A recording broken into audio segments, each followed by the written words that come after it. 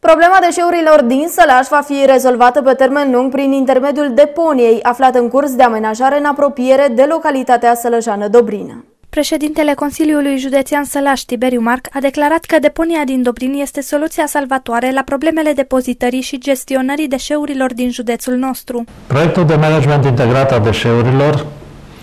este pentru județul Sălaj un proiect care își propune să colecteze toate deșeurile menajere și nu numai din tot județul, să le treacă prin uh, trei stații de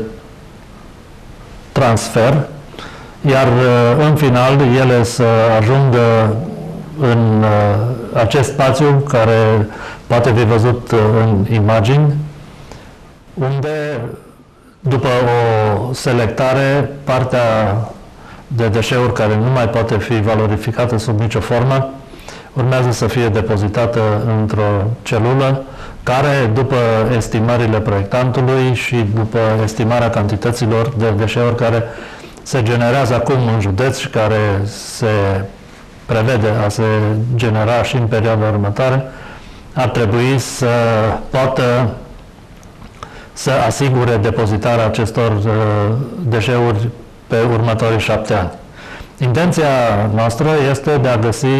tehnologii care să valorifice și această parte de deșeuri, sigur nu în acest proiect, ci probabil într-unul viitor, în așa fel încât uh, cantitatea de deșeuri care se depozitează să scadă.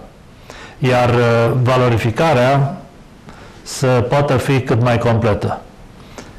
Actualul proiect nu este prevăzut cu uh, o stație care să genereze și uh, biogaz,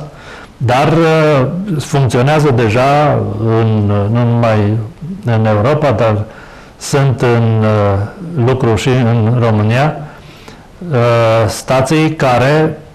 fie funcționează pentru producerea uh, biogazului, fie un concept uh, care în Europa începe să prindă contur, cel de incinerare a deșeurilor, în urma cărora se obțin uh, materiale care pot fi folosite fie în construcții, fie în agricultură,